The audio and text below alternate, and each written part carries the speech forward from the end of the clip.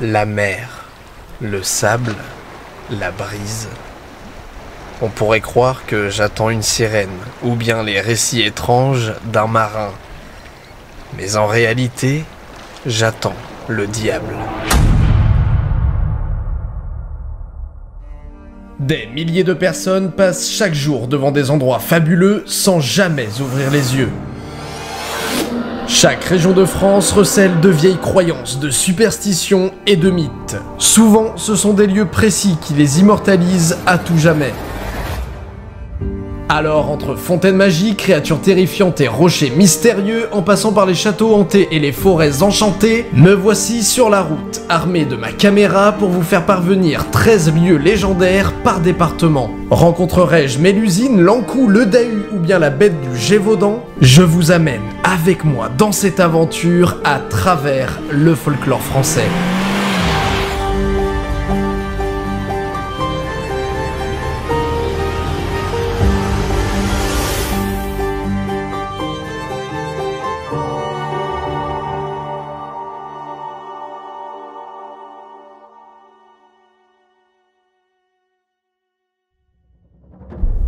Longeant l'Atlantique, la Charente-Maritime abrite de nombreuses légendes en lien avec l'océan. Les sirènes et bateaux maudits sont nombreux, mais les mythes les plus répandus sont ceux des villes englouties, comme celle d'Anchouane, qui, selon les marins du Moyen Âge, pouvaient être vues les jours où l'eau était claire. La plupart des buttes et dolmens sont attribués au géant Gargantua, et bien que Mélusine se fasse plus discrète dans ce coin, elle serait tout de même à l'origine de plusieurs monuments de Talmont de Sainte et de La Rochelle. Mais rien de tout ça à Saint-Palais-sur-Mer, non, ici, on y parle du diable.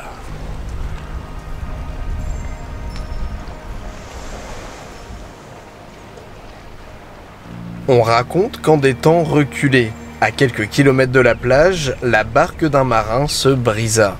L'homme pria et implora à tous les saints de venir l'aider. Aucun ne lui répondit.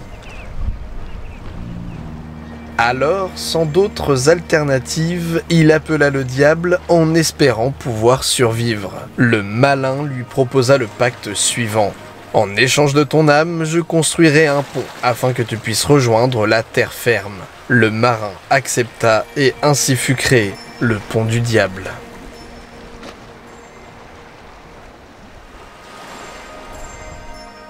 Bon, et au cas où avoir marché ici m'a maudit comme ce marin, je propose qu'on aille à présent voir un ermite guérisseur.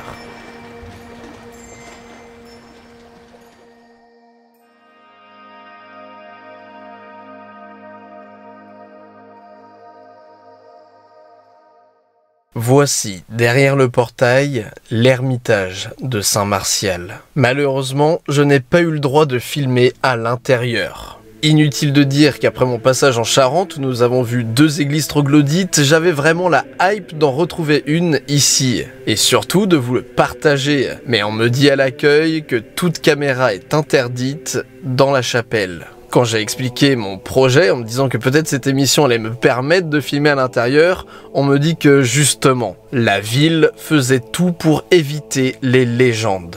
Il voulait se centrer sur l'aspect esthétique et historique de l'endroit, et le fait que je vienne avec une caméra en plus pour parler des légendes de l'endroit, inutile de dire que là, ils n'ont vraiment pas voulu me laisser entrer. Mais bon, c'est pas grave, il y a quelques photos sur internet, je vais vous raconter cette légende. Tout d'abord, sachez qu'à l'époque, l'eau arrivait jusqu'au pied de la grotte. Au IVe siècle, Saint Martial, premier évêque de Limoges et fondateur de l'église d'Aquitaine, serait venu se retirer ici. On raconte que pendant quelques années, il vécut en ermite dans la grotte, loin de tout. C'est ici qu'il aurait réussi à faire des guérisons miraculeuses, mais aussi des résurrections. Au fil des siècles, de nombreux moines vont s'y rendre afin de construire une cuisine, un réfectoire, un dortoir et cette chapelle. Et on a ici une statue de Saint Martial qui a été créée probablement au XIe siècle. Chose stylée et intrigante, le 24 décembre vers 16h, au solstice d'hiver donc, la lumière du soleil vient taper précisément le cœur de l'autel en passant par l'unique fenêtre de la chapelle. Donc, eh bien, si vous ne savez pas quoi faire avant le réveillon de Noël, eh bien, venez voir ça si vous êtes dans le coin. Allez, il est temps de s'enfoncer dans le département, mais promis, on retourne côté plage dans quelques heures. Enfin, quelques minutes pour vous.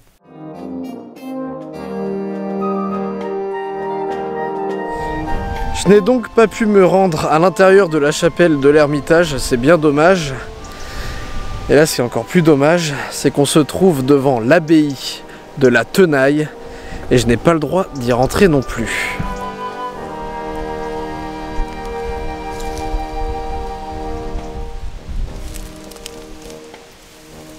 Le chantier est interdit au public et il y a trois voitures de garées devant le portail, donc euh, c'est dommage. L'abbaye de la Tenaille. Quel drôle de nom me diriez-vous? En effet, en fait on raconte que cette abbaye aurait abrité les clous de la Sainte Croix et la Tenaille qui les a retirés. Important car se trouvant sur le chemin menant à Saint-Jacques de Compostelle, ce lieu aurait aussi accueilli des milliers de personnes voulant prêter serment devant les objets sacrés. On raconte aussi qu'une fontaine s'y trouvait, une fontaine qui guérissait toutes les maladies.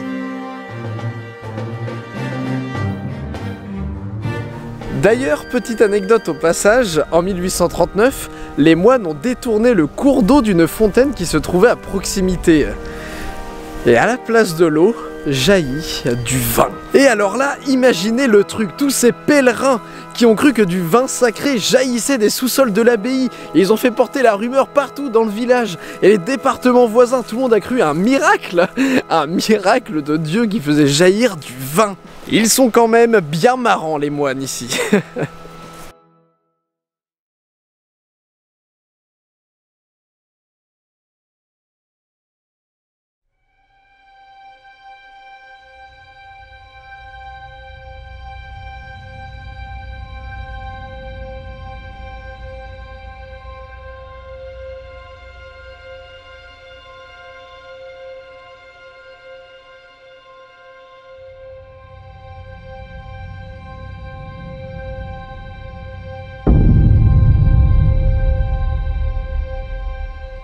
Le symbole de la ville de Pont se trouve par ici, à l'hôpital des pèlerins. Il s'agit d'un animal protecteur qu'on dit aussi être une fée et qui pour certains pourrait être une incarnation de Mélusine.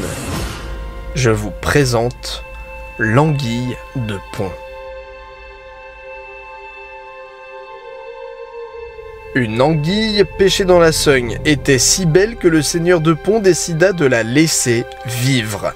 Dans la nuit, les deux filles du Seigneur furent visitées par l'anguille en songe. Elle leur dit Faites-moi descendre dans les douves du château pour toujours, car vous m'avez sauvé d'une mort misérable. Mettez-moi au cou un grelot d'argent, et chaque fois qu'un danger menacera les seigneurs de pont et ceux qui leur sont chers, je sonnerai pour les en avertir. On raconte qu'on entendait sa clochette à la veille de grands malheurs, comme les tempêtes, les épidémies ou bien les guerres.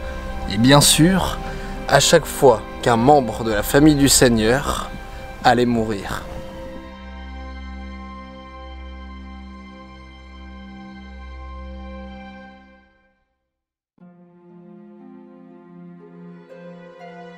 Bury et ses alentours sont un incontournable pour tous les fans de lavoir et de fontaine.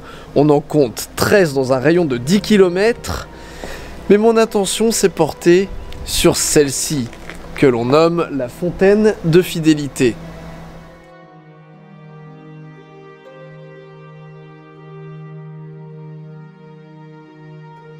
La légende nous dit qu'à la fin du XIe siècle, Hugues, écuyer du seigneur de Bury, part pour les croisades en jurant fidélité éternelle à sa belle et tendre Odette.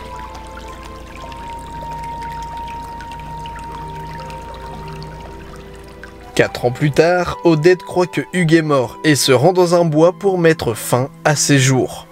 Alors qu'elle donnait son dernier souffle de vie, Hugues, qui revenait tout juste des croisades, désespéré de trouver sa fiancée à l'agonie, se joignit à elle et se tua d'un coup d'épée. Les larmes d'Odette se mêlèrent au sang du chevalier et une source jaillit, qu'on appela par la suite la fontaine de fidélité.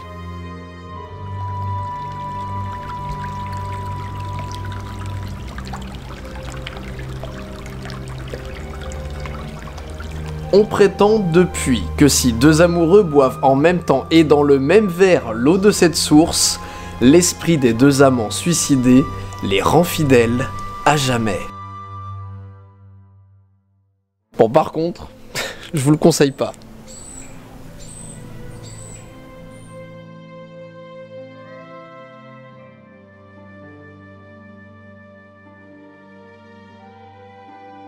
Bienvenue à l'amphithéâtre de Sainte, un endroit, encore une fois, dans lequel je n'ai pas eu le droit de rentrer. On est venu m'intercepter avec ma caméra en me disant que pour rentrer à l'intérieur du monument, il fallait que je fasse une déclaration de tournage. Cette déclaration pourrait être acceptée comme refusée, et si elle était acceptée, il fallait que j'attende un délai de 6 semaines avant de revenir. Inutile de dire que là, j'étais un peu énervé. Comme pour la chapelle, je vais donc vous expliquer la légende avec des images d'internet.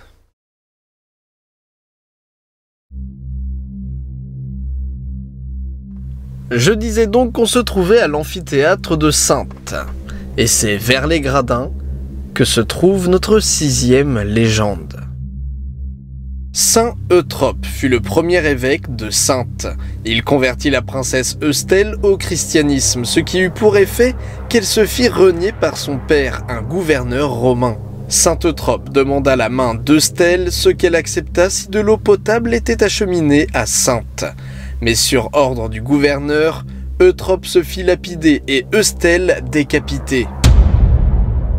À l'endroit où elle est devenue martyre, jaillit la source de Sainte Eustelle. Cette eau était connue pour guérir les maladies, mais aussi pour exaucer certains vœux. Ainsi, les femmes en mal de mari ou les femmes stériles venaient ici, et même les femmes ne voulant plus avoir d'enfants. Ces ruines, en plein cœur de la ville, sont extraordinaires. Si vous y allez, venez donc sans caméra. Bon, on commence à retourner en direction de la mer. Dominant sur les marais de Saint-Sornin se trouve le vestige d'un château fort, ruine que l'on nomme Tour de Brou ou Tour des Mariés. Après cette petite déception à Sainte, ça fait plaisir de se retrouver là, dans un endroit un peu paumé, mais plutôt grandiose. Il fut un temps où il y avait ici le trou des mariés, un trou dans la muraille. Si vous étiez une jeune femme à l'époque, il fallait essayer de le passer à reculons, sans que votre robe, oui, il fallait être en robe, donc essayez de le passer à reculons sans que votre robe ne touche la paroi. Et si vous y arriviez, félicitations, c'est que vous alliez vous marier dans les prochains mois.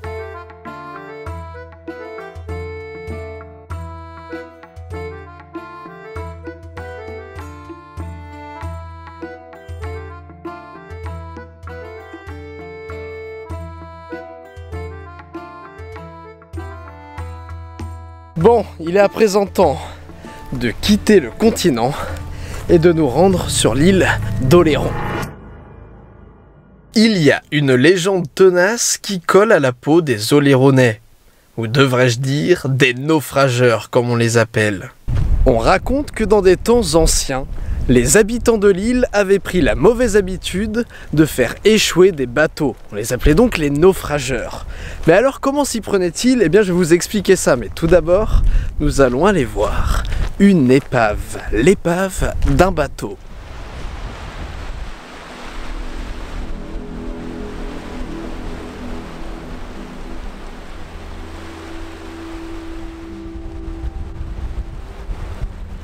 Voici les vestiges du bateau Présidente Vieira de New York qui s'est échoué entre Saint-Trojan et Grand Village dans la nuit du 18 au 19 novembre 1916. Peu de temps après le naufrage, le bateau disparaît sous le sable et il ne réapparaîtra que 70 ans plus tard.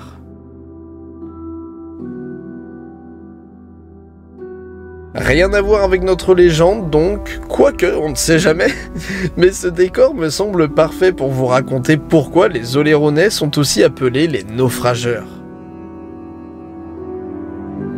La légende raconte qu'on attachait une lanterne allumée au cou d'un âne dont les pieds étaient légèrement entravés par une corde. Conduit auprès du rivage, l'animal faisait balancer la lanterne qui, de loin, semblait être la lumière d'un vaisseau. Induits en erreur par ce piège, les navigateurs qui croyaient suivre un passage navigable se dirigeaient en fait droit sur le rivage. C'est là que les habitants de l'île d'Oléron se jettent sur le navire, tuent tous ses passagers et ne reste plus qu'à se servir.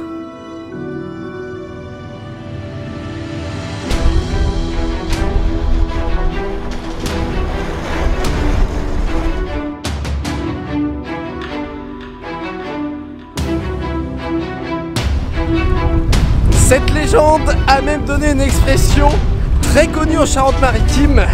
L'expression, c'est faire tanguer l'âne.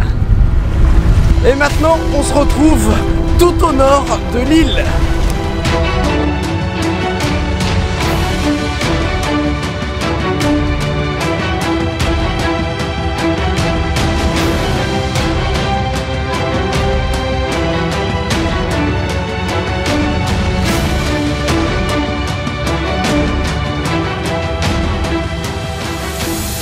Le récif d'Antioche était l'un des lieux les plus dangereux durant des siècles.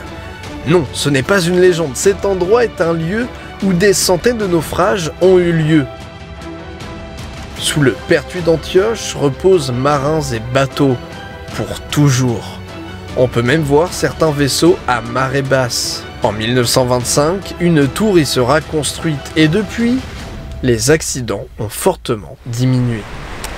Mais si nous, on est là, c'est car dans les anciens temps, on blâmait les sirènes pour tous ces naufrages. La légende nous rapporte que Simon, un marin, était tombé amoureux d'une de ces sirènes. Il se maria avec elle et pendant plusieurs années, il ne connut que le bonheur. Une sorcière le prévint que les sirènes étaient des créatures maléfiques, mais rien ne le fit changer d'avis.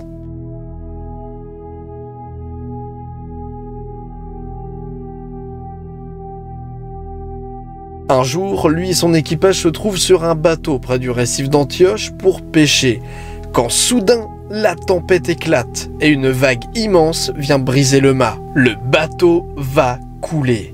Simon aperçoit alors une forme monstrueuse dans une nouvelle vague qui vient les attaquer. Il réunit ses dernières forces et plante son harpon dans la créature. Simon parvint finalement à rentrer chez lui. En rentrant, il vit son épouse poisson agonisé au sol, blessé à mort par un harpon. Désespéré, Simon se suicide et se fait enterrer avec sa femme au cimetière de Saint-Denis d'Oléron. L'histoire aurait pu s'arrêter là, mais il y a eu des travaux dans le cimetière et avec les restes d'un homme, dans le cercueil, on a trouvé le squelette d'un dauphin. Voilà. Sur cette révélation chamboulante entre mythe et réalité, il est temps de regagner le continent.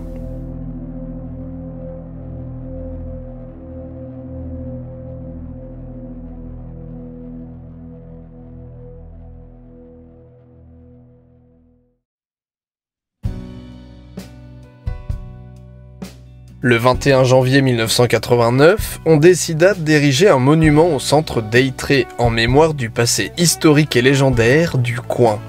Réalisé par Christian Renoncia, c'est un impressionnant cheval-navire qui veille à présent sur la ville. Depuis les temps les plus anciens, les habitants des bords de mer ont souvent assimilé l'écume de la vague au cheval galopant vers le rivage.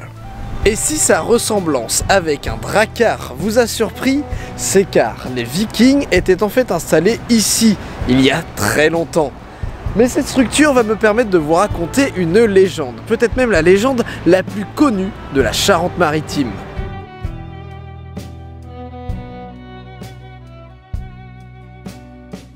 Comme nous l'avons déjà vu, les Deux-Sèvres ont leur propre dragon, celui de Niort.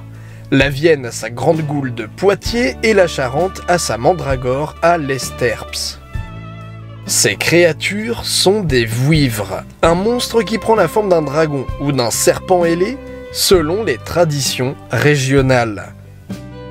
Eh bien, la Charente-Maritime a sa propre vouivre, la bête de Raux. La bête de Raux était un gros serpent ailé qui terrorisait les habitants d'Eitré, de La Rochelle et des environs. Le dragon tuait tout sur son passage. Les villages du littoral ne pouvaient rien faire. Quand un jour, sept chevaliers, ou sept vikings selon les sources, arrivèrent de la mer en bateau et délivrèrent la côte. C'est sur le pont de pierre que la bête fut vaincue, et on raconte que sur la pointe du Chey se trouvaient autrefois sept pierres qui servaient de siège aux sept vikings, à présent devenus les leaders de la région. Ce cheval-navire pourrait donc représenter le bateau de nos sept héros, le bateau qui délivra la région de la bête de Raux.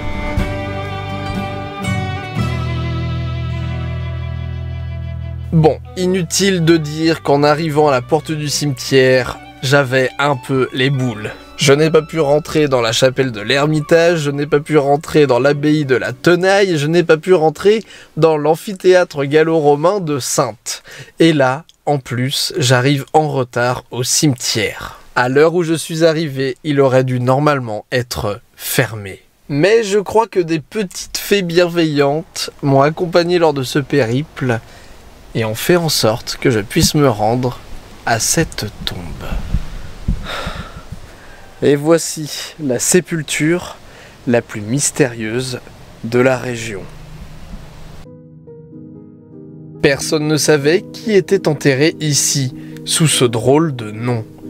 Les rumeurs et hypothèses ont commencé à se répandre jusqu'à attirer des touristes sur la tombe, essayant de déchiffrer cette énigme.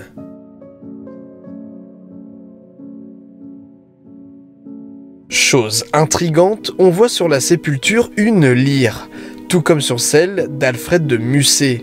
Et Tessum Eh bien, c'est Musset à l'envers.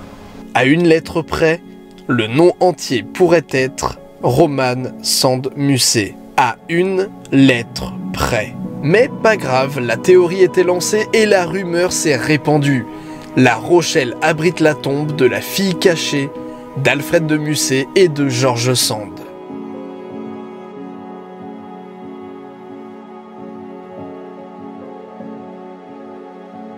Si beaucoup ont colporté la rumeur et que certains y croient aujourd'hui, car la tradition est tenace, il n'en est rien. La personne qui repose en réalité ici est un dauphin. Non, pas encore, je rigole. Il s'agit en fait d'une certaine Joséphine Marie Ménard. Mais cette légende est encore tenace aujourd'hui dans la tête des gens. Je voulais absolument voir cette tombe.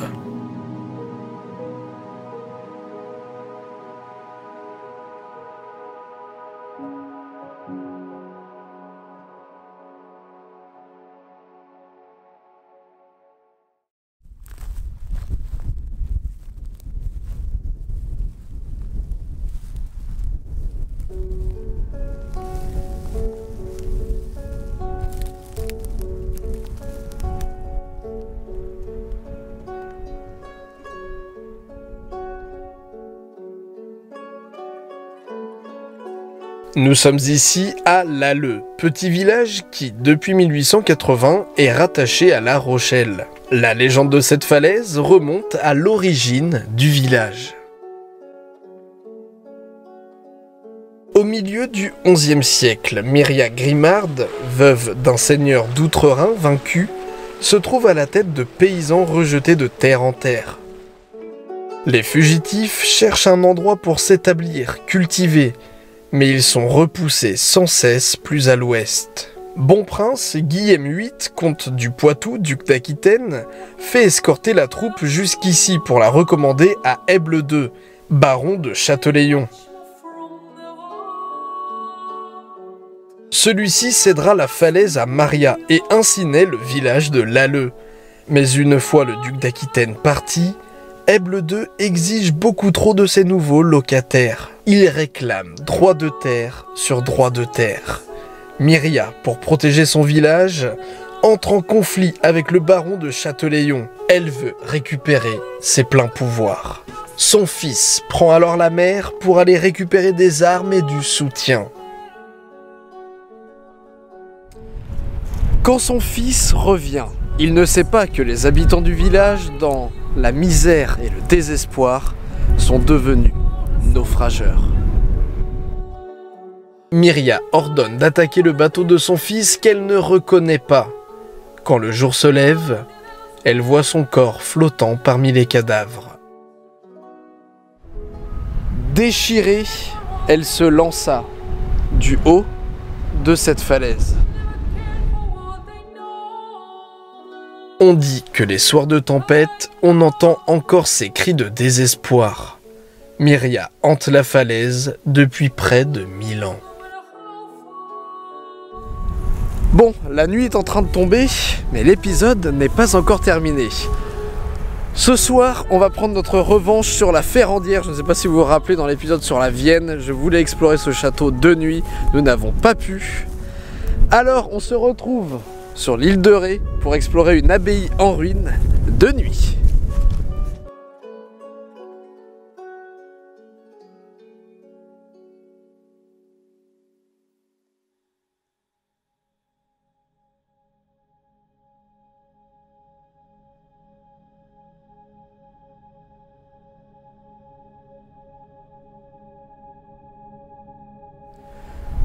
Nous nous trouvons à l'abbaye des Châteliers, l'un des lieux les plus hantés de Charente-Maritime.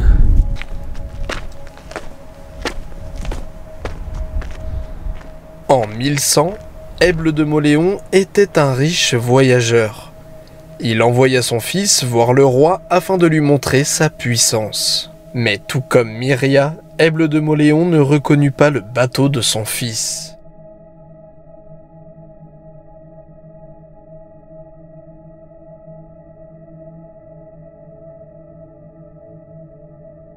Pour se faire racheter, il construira cette abbaye et mourra désespéré. Il sera enterré dans son abbaye aux côtés de son fils qu'il a donc tué.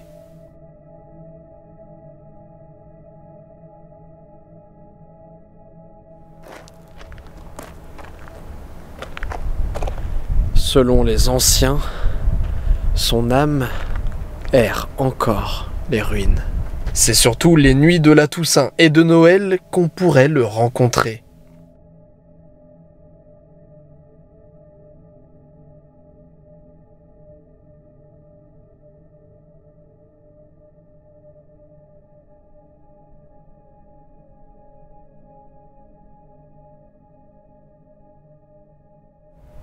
Malgré les prières des moines, réveillés de nombreuses fois par ces cris de douleur, Aible de Moléon n'a toujours pas obtenu le pardon de Dieu.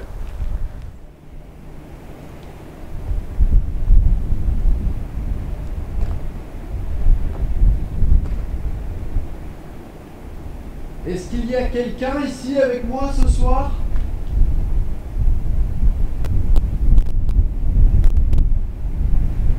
Est-ce que Aible de Moléon est entre ces murs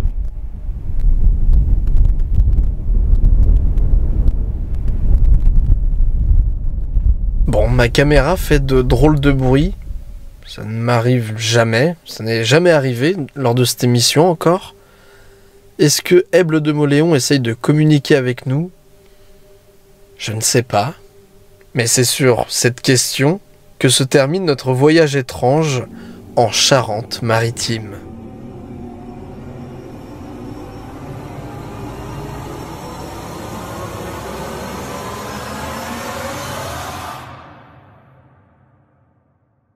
Le truc, c'est que pour l'instant, aucun épisode de France Mystérieuse n'est sorti pour moi. Je ne sais pas si vous avez apprécié cette émission.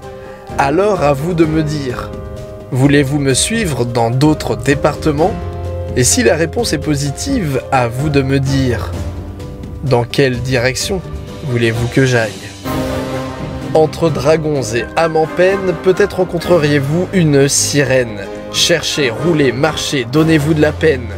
Même si les légendes ont diabolisé les océans, que cela ne vous laisse pas indifférents, soyez confiants. Elles nous permettent de rêver, de nous ressourcer, de comprendre notre passé. Et peut-être qu'une nuit de pleine lune, c'est votre empreinte de pas laissée sur la route à la recherche de légendes qui en deviendra une.